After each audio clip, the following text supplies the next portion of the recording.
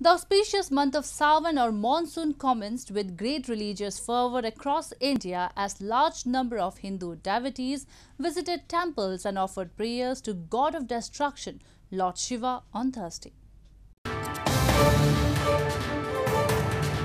Hundreds of Hindu devotees across India thronged temples of Hindu god of destruction, Lord Shiva, to offer special prayers to mark the onset of the auspicious monsoon month of Sawan or Shravan according to the Hindu lunar calendar.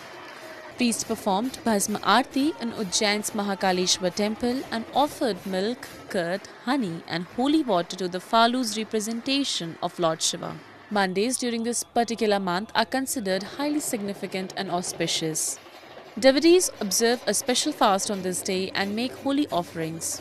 बहुत अच्छा लगा हमें यहाँ पे आज सावन का first day और बहुत ही डिवाइन एक्सपीरियंस था बहुत ही अच्छा है सबको आना चाहिए यहाँ Devotees also flock to the famous Kashi Vishwanath temple in India's northern Uttar Pradesh state on the first day of the holy monsoon month.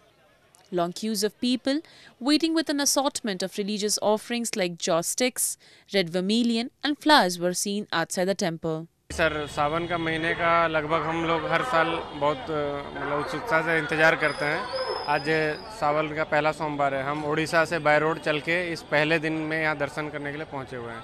मन में बहुत उत्सुकता है बहुत भव्य माहौल है और लाखों भक्त बाबा का इंतज़ार कर रहे हैं। सब लाइन में लगे हुए हैं। As per Hindu legends, Lord Shiva had consumed the poison which came out of the churning of the ocean and saved the world during the Sawan month.